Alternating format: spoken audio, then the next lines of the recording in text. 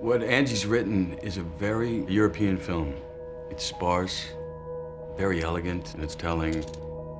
C'est très audacieux de sa part d'avoir tenté cette aventure plus expérimentale, plus marginale même, dans laquelle elle, euh, elle dit quelque chose, sans doute, de ce qui traîne dans sa tête, de ce qui traîne dans son cœur.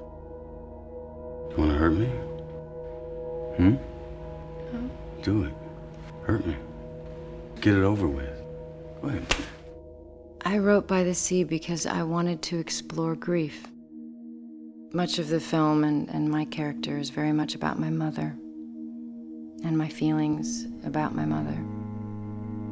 When the bartender speaks and speaks about loss, that's how I reflect on her, it's how I feel about her, her death.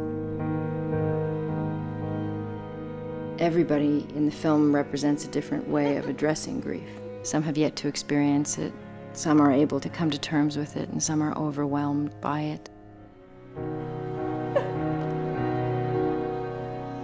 Si on aime vraiment quelqu'un, on veut plus pour l'autre que pour soi-même. Comprenez ça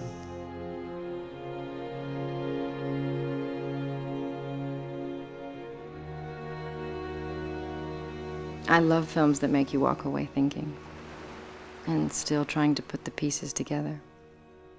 That's the, that's the beauty and the freedom given to, to more independent style films.